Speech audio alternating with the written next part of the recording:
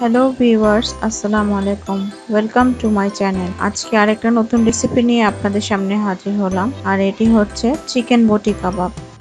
এই কাবাবটা দেখতে অতটা সুন্দর না হলেও খেতে কিন্তু অসাধারণ হয়েছে।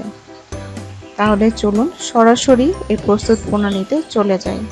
আমি এখানে দুই কেজি পরিমাণ বোনলেস চিকেন নিয়ে ভালো করে ধুয়ে কিউব করে কেটে নিয়েছি। প্রথমে একটা মিক্সিং বলে চিকেনের কিউবগুলাকে নিয়ে এর মধ্যে আমি দিয়ে দিয়েছি পরিমাণ মতো লবণ হাফ টেবিল চামচ গোলমরিচ গুঁড়া হাফ টেবিল চামচ চিলি ফ্লেক্স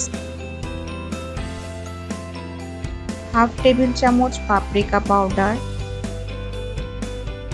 হাফ টেবিল চামচ গুঁড়া মরিচ হাফ টেবিল চামচ ধনে গুঁড়া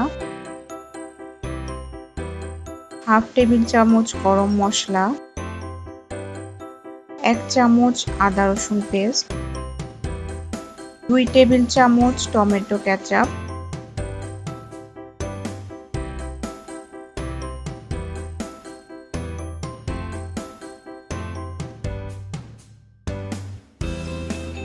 one fourth cup টক দই, এটা আমি দুইবার দিয়েছি।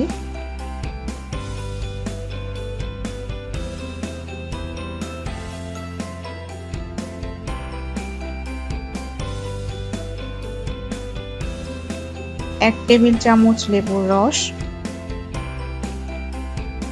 ও দুই টেবিল চামচ তেল।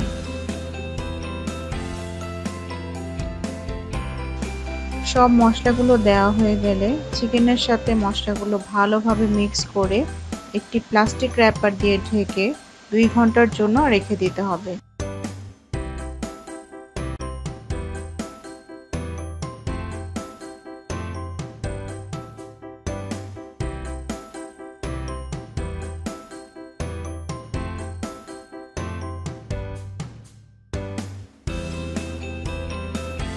দুই ঘণ্টা পর ম্যারিনেট করা চিকেনগুলোকে আরেকবার ভালো করে মিক্স করে এভাবে একটা কাঠির মধ্যে একটা একটা করে চিকেনের কিউবগুলোকে গেঁথে দিতে হবে।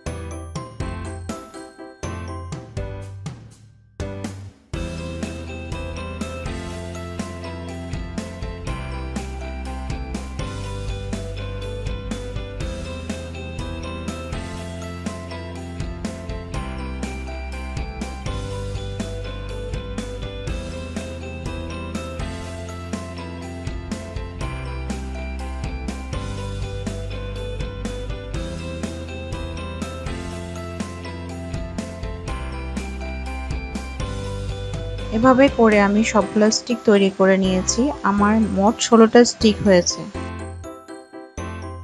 এবার একটা প্যানে তেল গরম করে চুলার আঁচ মিডিয়াম রেখে চিকেনের স্টিকগুলোকে একটা একটা করে দিয়ে দিতে হবে।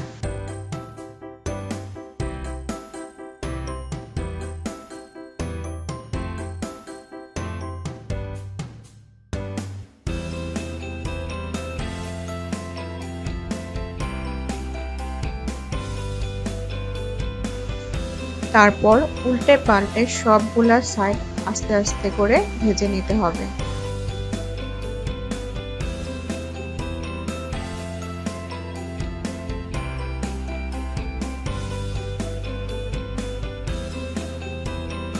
ভেজে না হয়ে গেলে আপনার এই কাবাবটা সার্ভের জন্য পুরোপুরি রেডি আমি এখানে পরোটা এবং টার্টার সস দিয়ে সার্ভ করেছি। এই সসের রেসিপিটা আমার চ্যানেলে দেওয়া আছে। আমি ডিসক্রিপশন বক্সে দিয়ে দিব, আপনারা সেখান থেকে দেখে নিতে পারবেন। আজকের আমার রেসিপিটা যদি আপনাদের কাছে ভালো লাগে, তাহলে অবশ্যই একটা লাইক দিবেন এবং বাসায় অবশ্যই একবার ট্রাই করবেন। এবং আমার চ্যানেলটা সাবস্ক্রাইব করতে কিন্তু ভুলবেন না। তাহলে আজ এখানেই শেষ করছি। আল্লাহ হাফেজ।